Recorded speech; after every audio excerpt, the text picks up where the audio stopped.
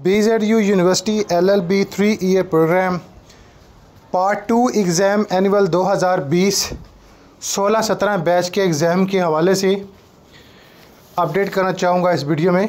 अस्सलाम वालेकुम dear viewers अल्लाहुम्मा सल्ली अला मोहम्मद वाली Mohammad. Welcome to my channel Rana Shahrukh official. और उम्मीद करता हूँ आप सब व्यूवर्स ठीक है। आज इस वीडियो के ज़रिए स्टूडेंट्स का मोस्ट जो ऐसा क्वेश्चन जो रिपीटेड क्वेश्चन है कि उनके एग्ज़ाम के हवाले से 2016-17 बैच की कब डेट अनाउंसमेंट होगी, इनके एग्ज़ाम होने हैं, पोस्टपोन है, क्या इशू चल रहे हैं?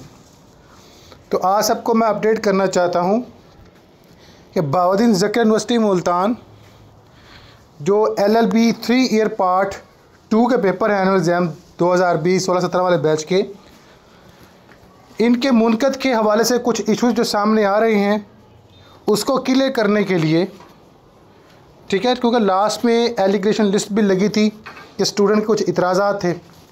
इसके अलावा कुछ कॉलेज़ की जानब से दरख्वास्त जेर समात थी कि जनाब उनकी एफिलेशन के हवाले से मिसकनसेप्ट है यूनिवर्सिटी को और रिव्यू के हवाले सारे मामला लिए हुए थे।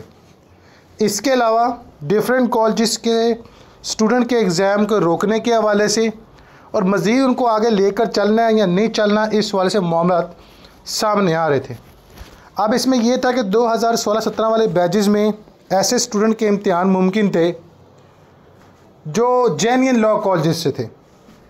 बाकी गूस्ट लॉ कॉलेज के स्टूडेंट के एग्ज़ाम के हवाले से कोई खुशखबरी ना थी।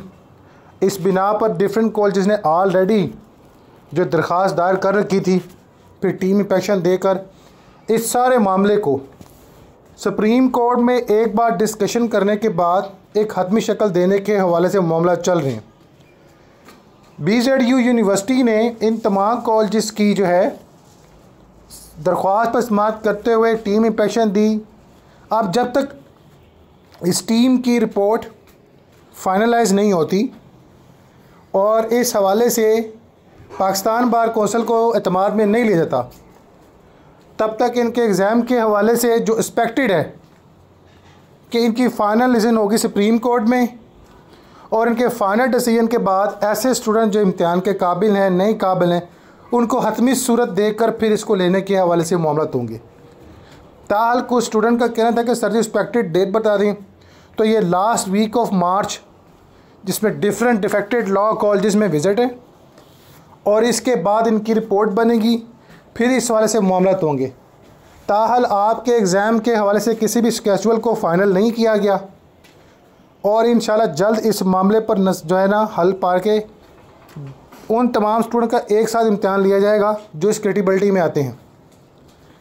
इस हवाले से आपके एग्ज़ाम पोस्टपोन है, लेकिन आप लोग सभी अपने एग्ज़ाम की तैयारी करें।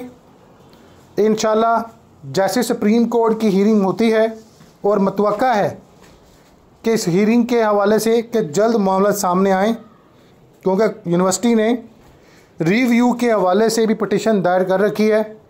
अब मकम्मल सबूतों के साथ फिर एक बार इस पर गुफ्तु की जाएगी कॉलेज की एफिलेशन के हवाले से।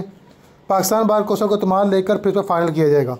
इस रिव्यू पटिशन की जब भी डेट लगेगी, जो हीरिंग की होगी, इसमें अब बच्चों के एग्ज़ाम और रिज़ल्ट के हवाले से इशू को डिस्कस किया जाएगा। फिर इस हवाले से आप लोगों को अपडेट किया जाएगा। आपके इम्तहान जो हैं, एक सरप्राइज़ न्यूज़ आनी है। फिर उस सरप्राइज़ न्यूज़ में शॉर्ट टाइम होना और आपके एग्ज़ाम होने हैं। इसलिए आप अपनी तैयारी जारी रखें